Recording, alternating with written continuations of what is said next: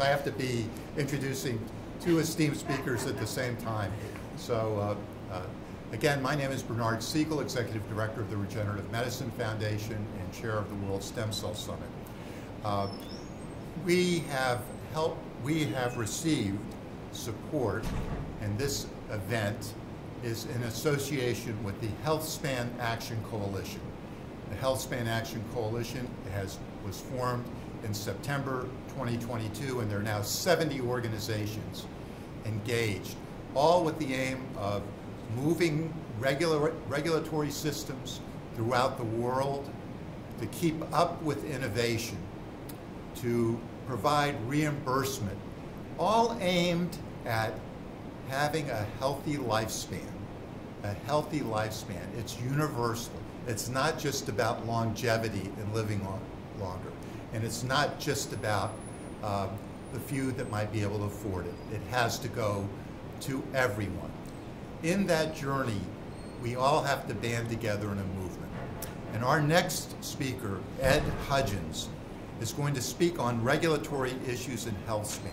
He has had a long experience as an advocate, as an educator, and as someone who has a public persona, has written more op-eds than anyone I've ever met.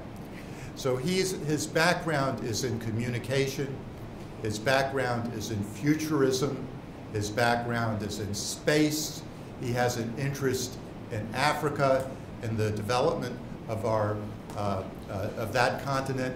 There's not a single aspect of public policy that he hasn't addressed in his long career. So I'm very pleased to introduce my friend and whose organization, the Human Achievement Alliance, is one of the founding members of the HealthSpan Action Coalition, Ed Hudgins. Thank you, Thank you for those kind words. Um, uh, sometimes people who know a little bit about everything, they say they know not enough about focus, but anyway, so maybe I'm spread too thin. I will let you all determine that. Okay. Uh, anyway, thank you all for coming, and thank you for those of you who are uh, listening on some other medium. Uh, yeah, I'm Ed Hudgins of the Human Achievement Alliance, and I'm talking, I'm speaking today about regulatory issues and health span. And what I want to do is, first of all, sort of set what I'm going to be doing. Then I want to look at the current situation. Then I want to hit a couple of the regulatory issues. There's so many, but I can only do a few of them first.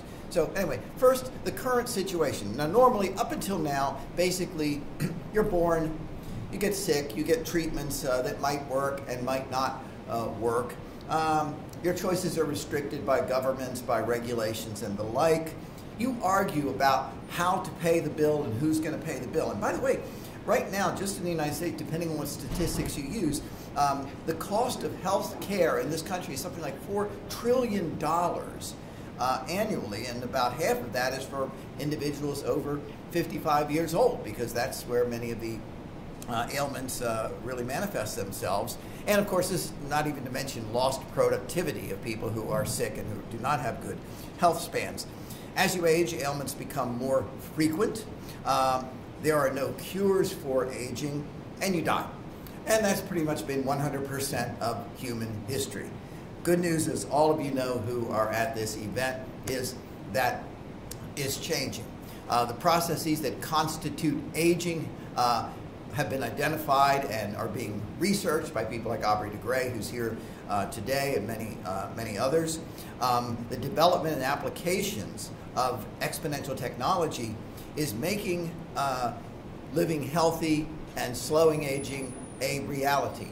But there are problems, and that is a lot of the government regulations stand between patients and cures. So uh, let's take a look at the promise of the future and what the challenges are. Now, first, I want to put it into a context because when you try to talk to somebody about these issues, everything is kind of blurry. What is all this technology doing? And I've kind of put it in like sort of five little bio, what I call techno hacks that basically can point a direction for uh, health span uh, health care and longevity in the future. First of all, uh, the cost of sequencing a human genome has gone from about $100 million, not counting initial capital costs in the year 2000, down to under uh, $1,000 today. There's a couple of companies say they can do it for uh, $200.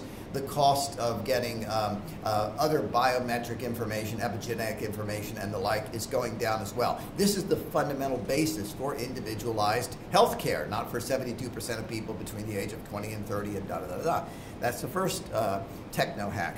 The second one uh, is research and analytic tools continue to improve. Almost every day, uh, you see something about a new breakthrough understanding this data. One that I liked uh, last year was an artificial intelligence algorithm.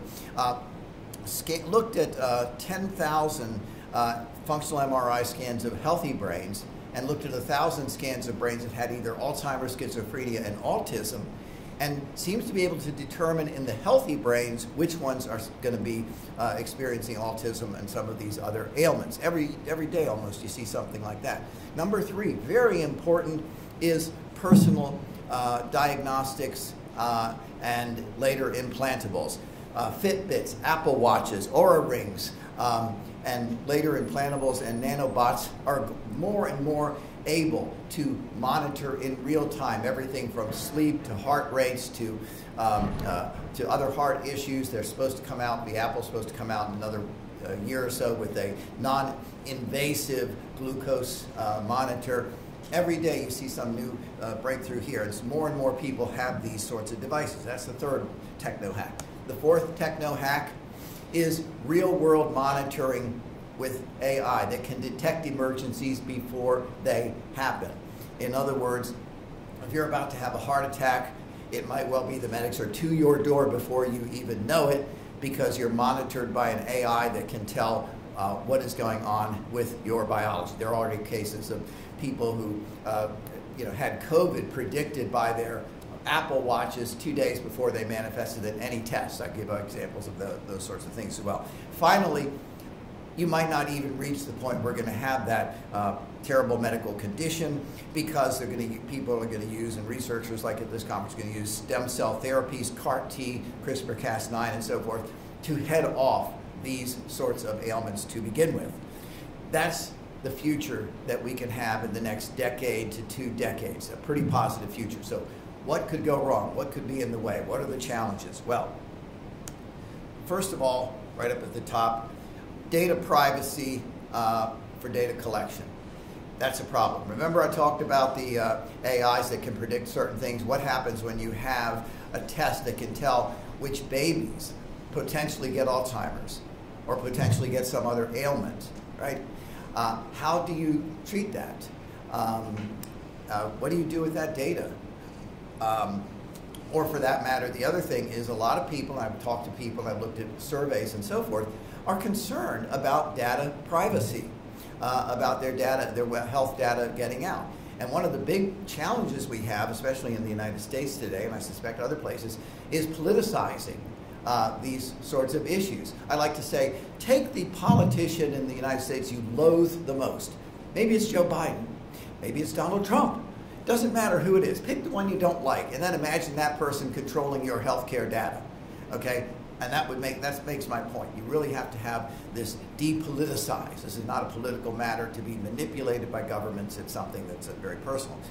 Second uh, regulatory challenge, this is one of the big ones, is insurance. How do you pay for this when uh, an insurance company, or for that matter, the government, if it's government-funded uh, uh, healthcare, as is in many company, uh, many countries, uh, can basically take a look at your data, and even if you leave out pre-existing conditions, uh, lifestyle has a lot to do with your health.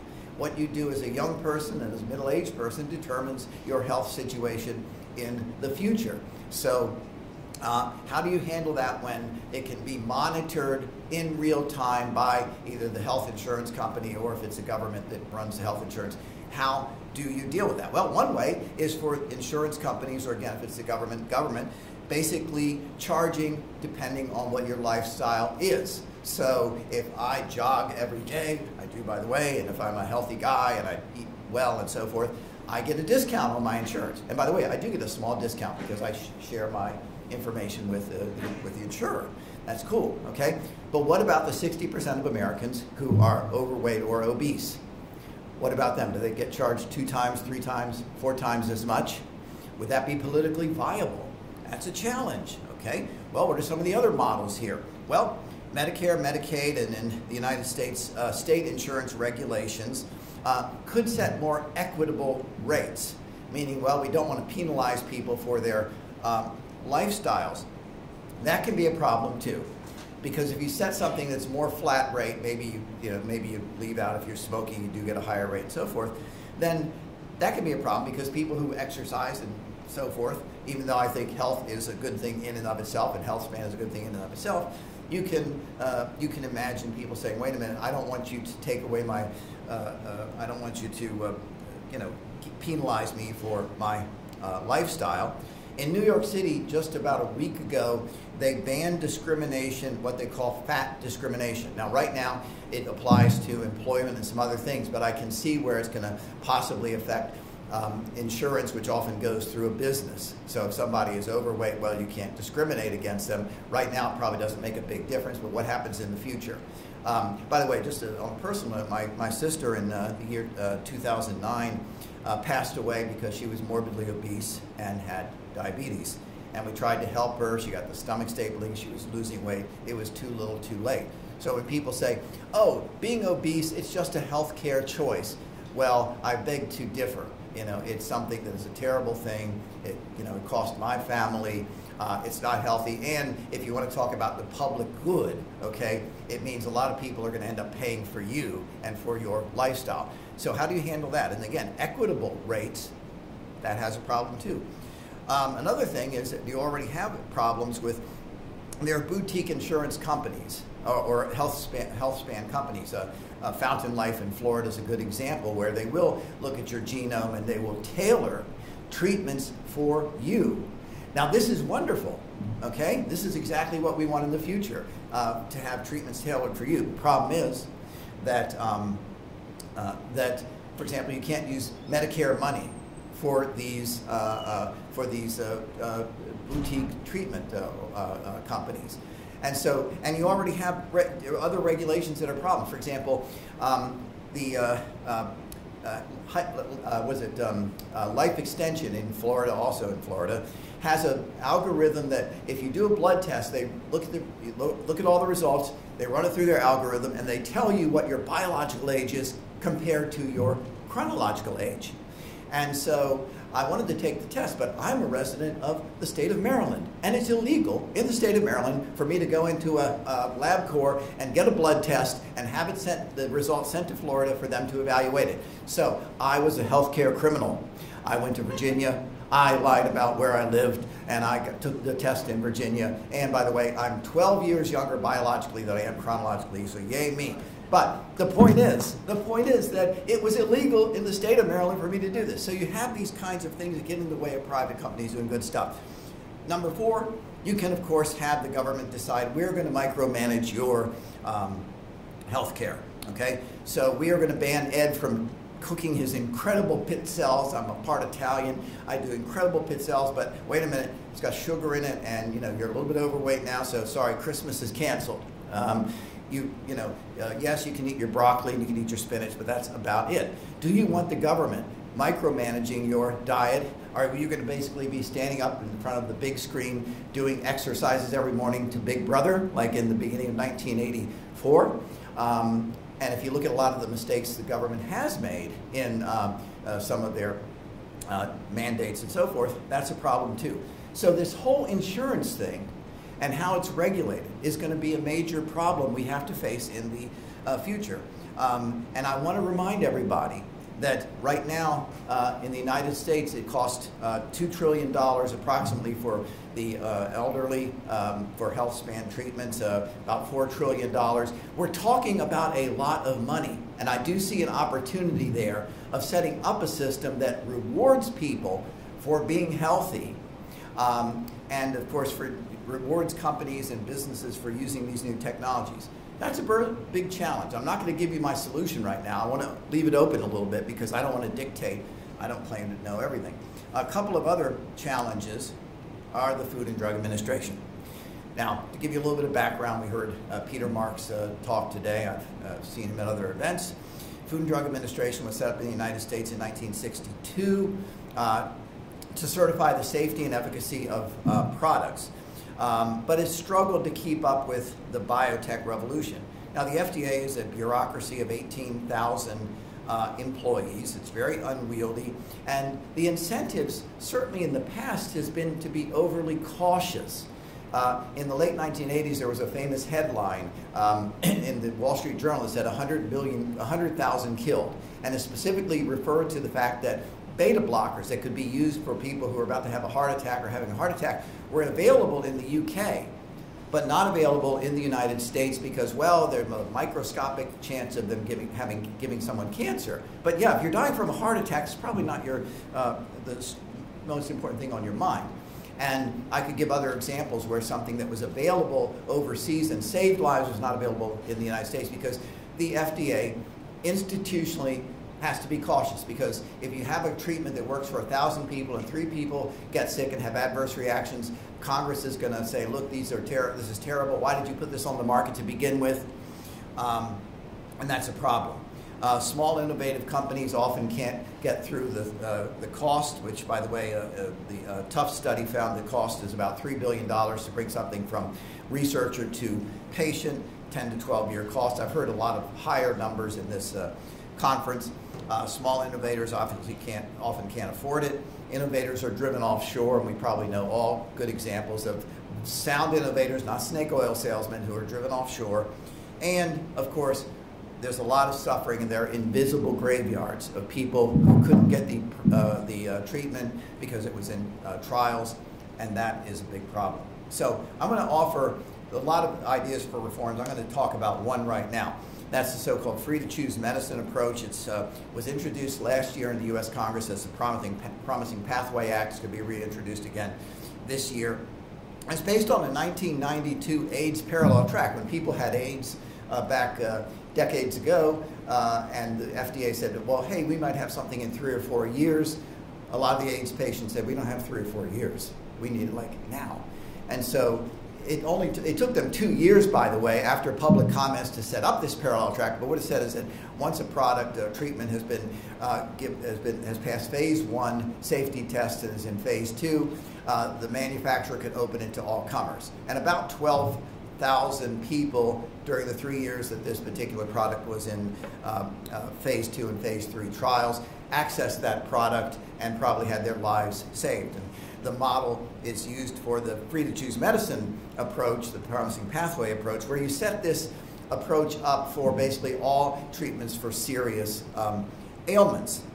Uh, and uh, basically, uh, a sponsor can offer the, uh, uh, the treatment uh, after it's passed phase one safety tri trials or safety tests and at least one phase two safety or efficacy trial. They can offer it if they want to and there are a lot of benefits of, uh, and by the way, the, the information, the patient information will be logged in a database that is open to the researchers. Um, so now you're getting real world information coming in. The companies, this is very important, the companies could charge.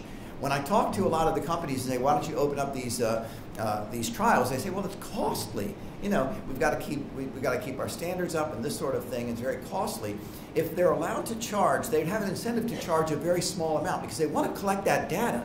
Because as you'll see in a minute, that data means you can get your product approved quicker, or if it's not very effective, you can knock it out quicker. They have an incentive to get data and to get real world data quicker. And insurance companies might well cover that cost because, hey, if something is very promising, you know, and can head off really expensive costs in the future, well, um, maybe that's something we should cover.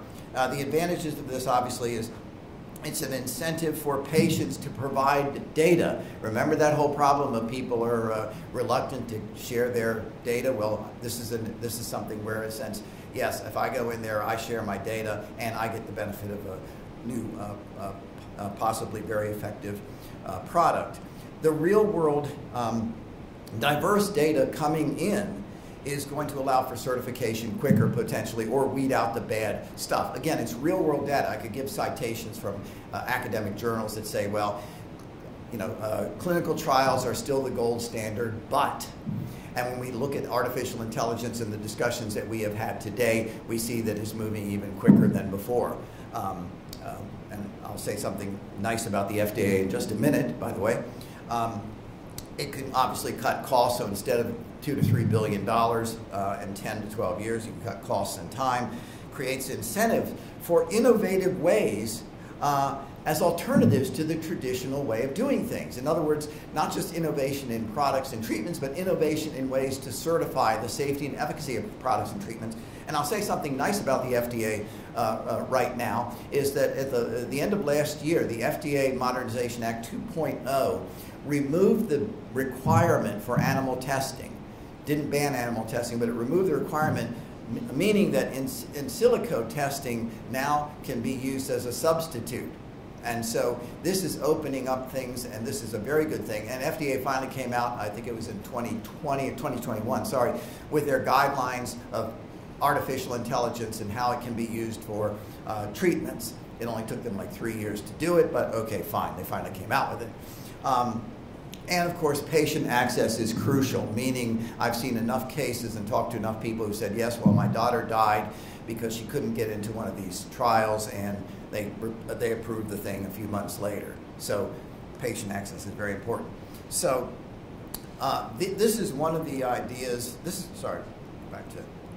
This is one of the ideas that I think is a very good idea, and I've been working on this. There are other versions of, of, of, of, uh, of uh, reforms as well. The final thing I want to mention is um, as we're looking at longevity and health span, biomarkers and endpoints are going to become more and more important.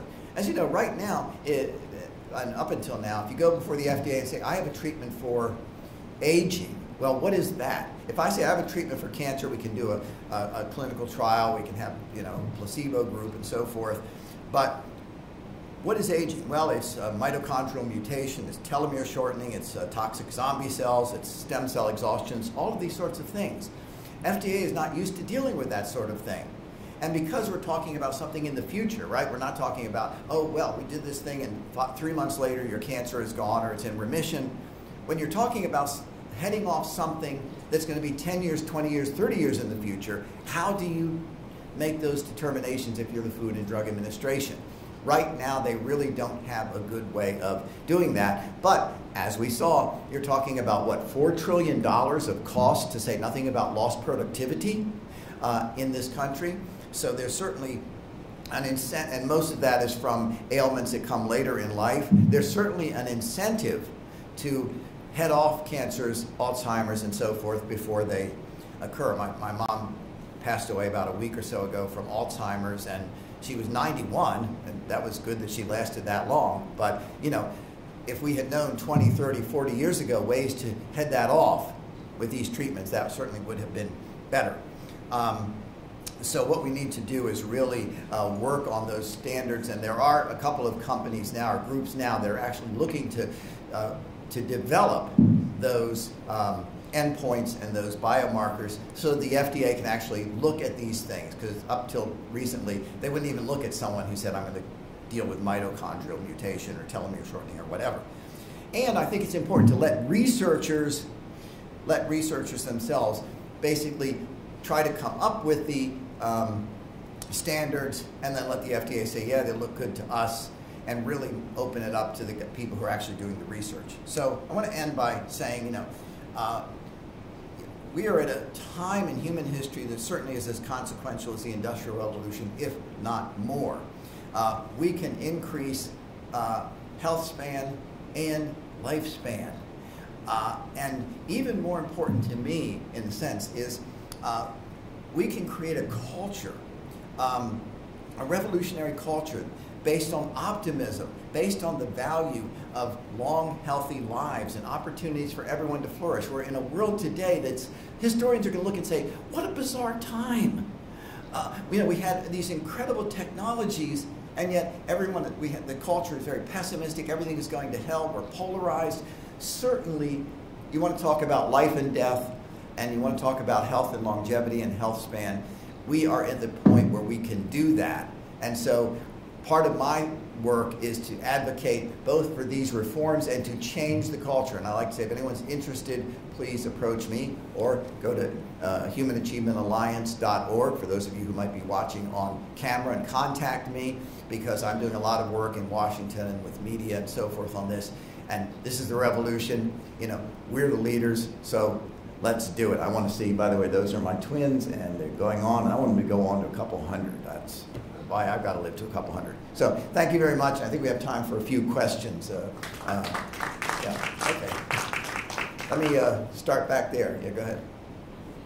You speak up a little bit. It's hard to.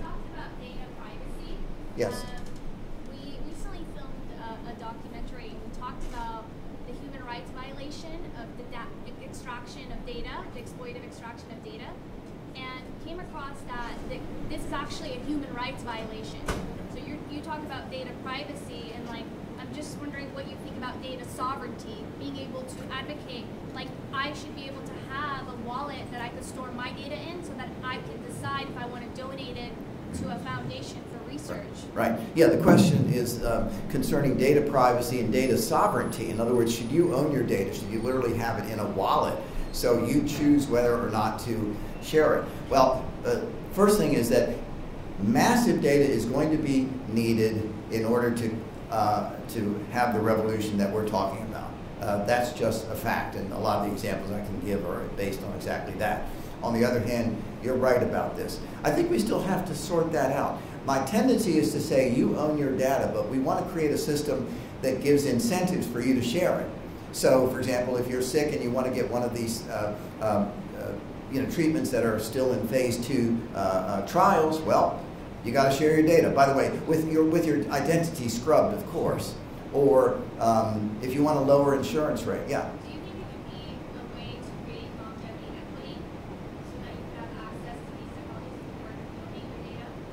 to donate your data? Yeah, so if I'm just be able to have oh. access to a treatment or something, as a, if you, if you can't afford it, you're able to donate and like. Uh, that's yeah. The, question is, what about donating your data if you can't afford it? And uh, yeah, I mean, I'm open to all sorts of uh, uh approaches. And part of what I'm doing here is saying, let a thousand flowers bloom, so to speak. I mean, I consider myself a libertarian, but I'm a practical libertarian. And so, yeah, you try that approach. And as long as it's not going to be dictated where, uh, you know, a company or a government or whatever is dictating it, then yeah, they might give it a try. I think you had a question back there. Uh, yeah, you mentioned a $4 trillion expense. What was that pointed at? Yeah, that was a $4 trillion expense for all health care costs in the United States for any given year and I've got a citation somewhere for that if you need. I've seen, by the way, I've seen numbers lower and higher depending on what you include in healthcare. And but the thing is, it is a really big expense. I mean, if you if you if you talk about just direct um, treatment, then the, the number is lower. Um, but then there's a lot of ancillary things that are going on. Um, so it depends on where on how you actually measure it. But it, the point is, it's a really huge amount. It's not minuscule. It's becoming one of the biggest uh, uh, parts of the, you know, any budget, whether it's a government budget, in case of governments, uh, they run healthcare or whatever. Uh, some other questions? There's also one in the back there. Um, um, yeah, David. Great talk, uh, Ed. Mm-hmm. About the free-to-use medicine pathway. Mm-hmm. I don't know much about it, but I have seen people, some people be worried about it mm-hmm. because they say that there are some treatments that should never be approved Mm-hmm. And the people who are providing these treatments are encouraging their uh, possible patients to say, hey, campaign to use this mechanism and uh, pay, pay us some money and uh, we'll give you this treatment. Right. Is that a, is that a serious thing or is that being blown out of proportion? Right. Well, not yet. Yeah, the question concerns um, if, what about companies that are basically kind of trying to push, try our treatment, uh, you know, paying money for it and so forth. Well, as I said, the first thing is that, the, that in this model, uh, your product already has to have passed phase one safety uh, uh, uh tests and at least one phase two uh, efficacy trial. So you can't just come in and say, I'm going to do this and uh, put it on that way.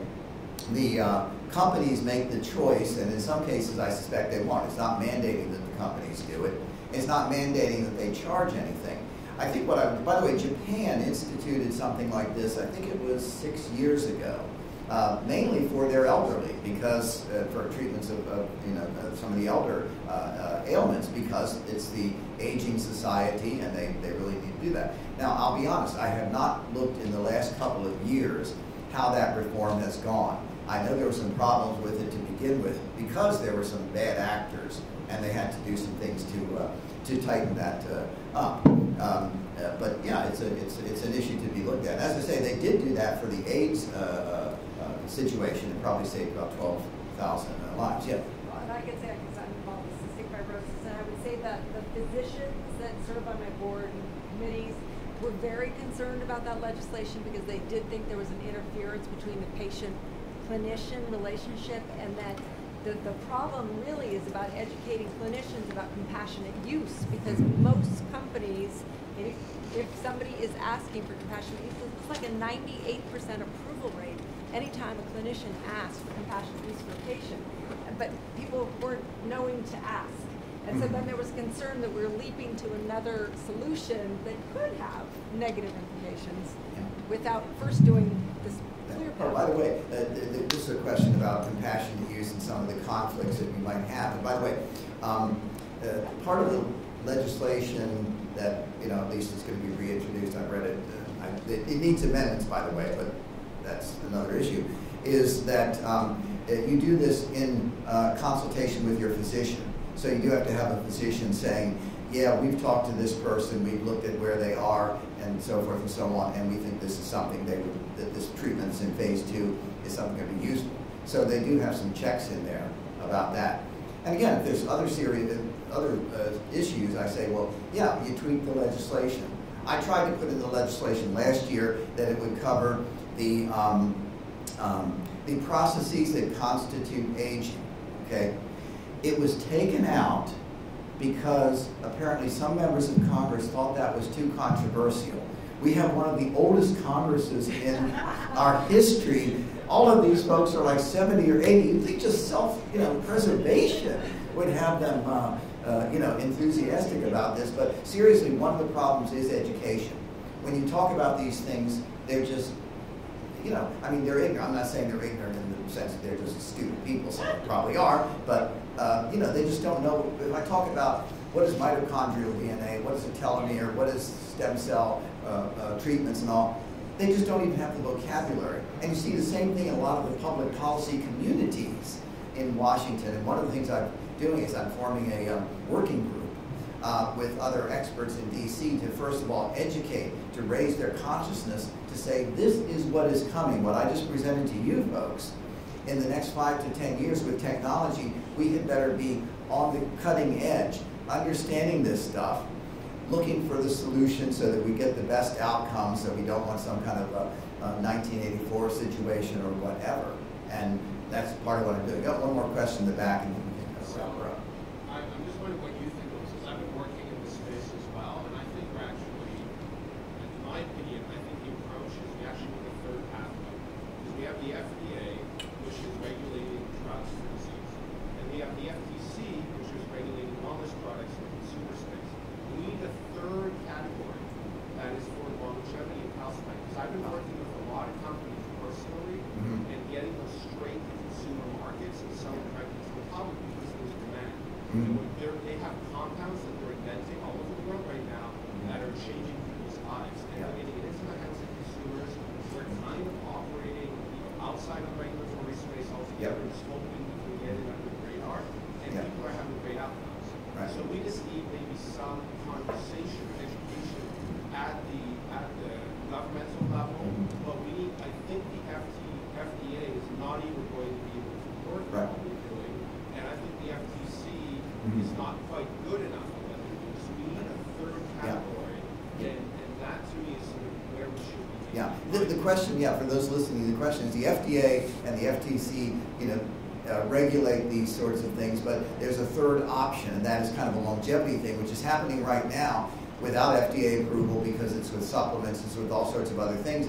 And the answer is yes. In fact, the group in Florida that Maryland won't let me work with or you know send my data with is just that kind of group. Now there are quality control issues, by the way, because I don't want to have snake oil, you know, medicine, you know, given to my uh, my kids. But I think that, and so I appreciate that. So I'm not someone who says, yeah, just let it poisoners and all. But I think you're right. And in fact, um, there are a couple of people I work with who talk about, um, I can't remember what their word is. Basically, it's un. Uh, you know, it's something that goes below the radar screen.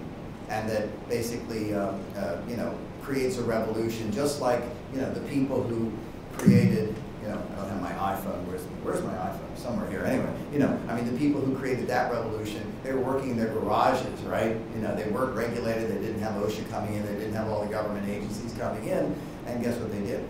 Uh, it's a little bit different with uh, these things, with you know, curing cancers, heading off Alzheimer's and so forth, and really in, uh, doing, dealing with the health span.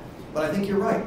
And that's one of the things, in fact, I'm going to be working with some of the folks in Washington because a lot of them are what I call libertarians, conservatives, but reasonable ones. They're not you know, wackos or something, who are looking for these ways that can you get around the current system.